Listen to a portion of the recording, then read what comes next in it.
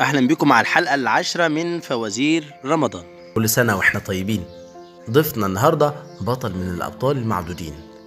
والقصة وما فيها إن سيدنا سعد بن أبي وقاص أرسل سبعة من الفرسان لاكتشاف معسكر الفرس في معركة بينه وبين الفرس. بمجرد خروج السبعة تفاجئوا بجيش الفرس أمامهم. ستة رجعوا وبطل قصتنا هو اللي رفض العودة وكمل المهمة.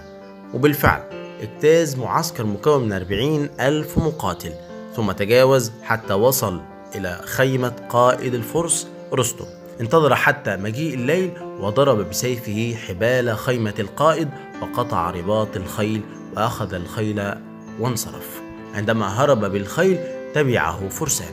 كلما اقتربوا منه أسرع وكلما ابتعدوا عنه تباطأ لأنه أراد أن يأسر أحدهم. وبالفعل تم له ما أراد وأسر واحدا من الثلاثة بعد أن قضى على اثنين. فجاءوا إلى خيمة سعد بن أبي وقاص فقال له أعطني الأمان وأصدقك القول. فقال له لك الأمان ونحن قوم نفي بعهدنا. فقال إن هذا الرجل ما رأينا مثله قط. لقد تجاوز معسكرين لا يتجاوزهما جيوش. وقطع خيمة القائد وأخذ فرسه وتبعه فرسان ثلاثة كنا نعد الواحد منهم بألف فارس وها ذا واحد منهم. فإن كان عندكم مثله فلا هزيمة لكم. وسؤالنا من ذلك البطل؟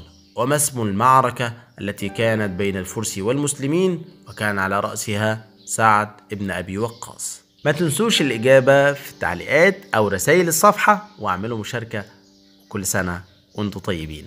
رمضان كريم.